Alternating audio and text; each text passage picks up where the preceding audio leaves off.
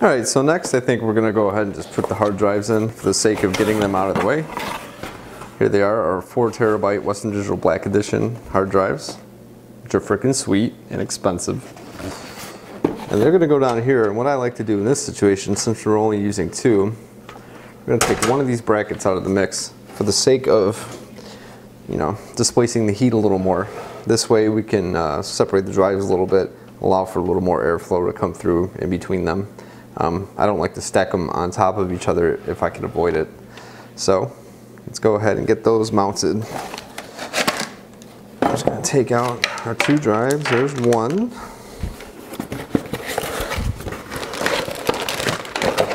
And here's two.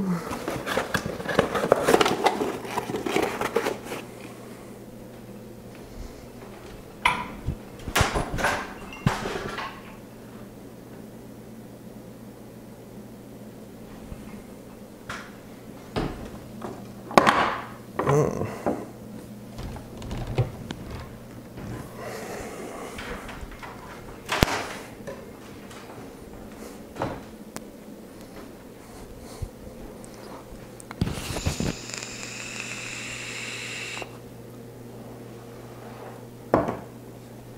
right, now I'm not sure if you can see this too well. I'll move it over a little bit for you. Hopefully that will help.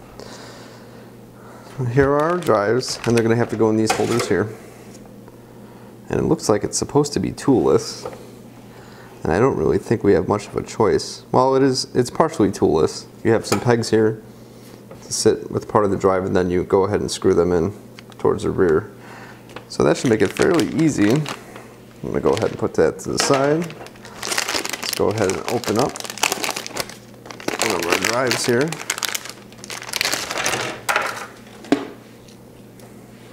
Wow, those things are nice. Yeah, that's new. They must have recently started doing that, that little black section right there. Pretty sweet.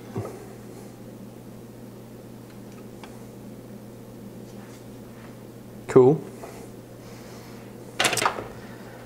And since I'm going to be hiding the wires, you're going to want to go ahead and match up where the uh, cable portion of the drive is going to be the part that is actually inserted. And that's pretty much the only way you're going to do it because that's how the holes line up.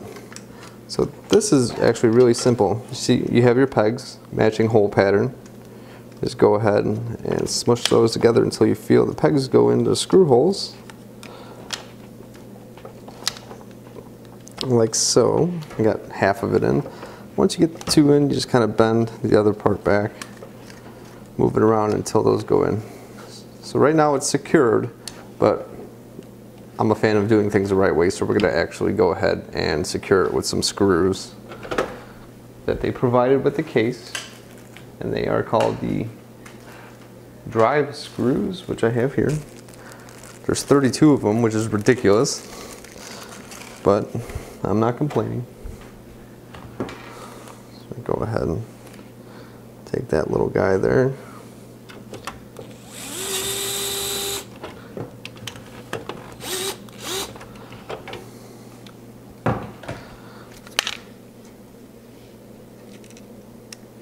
Go ahead and screw those in. They, they're not going to stop spinning when they're in. Seems like they kind of spin freely for the most part.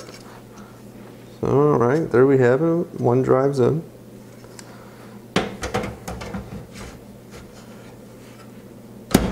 That just goes right in right there.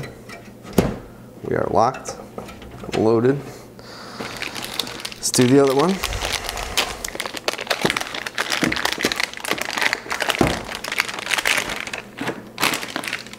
Again, same thing, four terabyte black edition. Take that out. This one will be a little quicker. All right, we're in our pegs, two screws.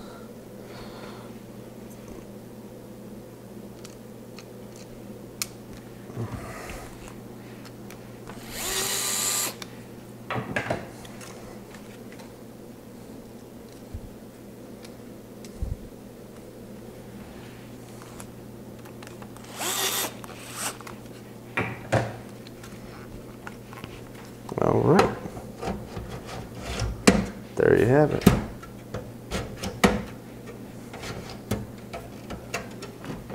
Something in the way on that one a little bit. All right. Our hard drives are in. Good.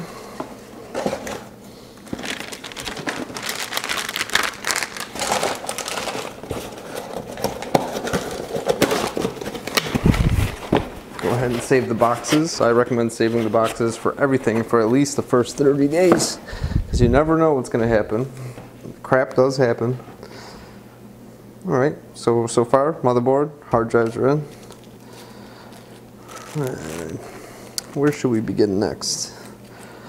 I'm gonna say probably the power supply.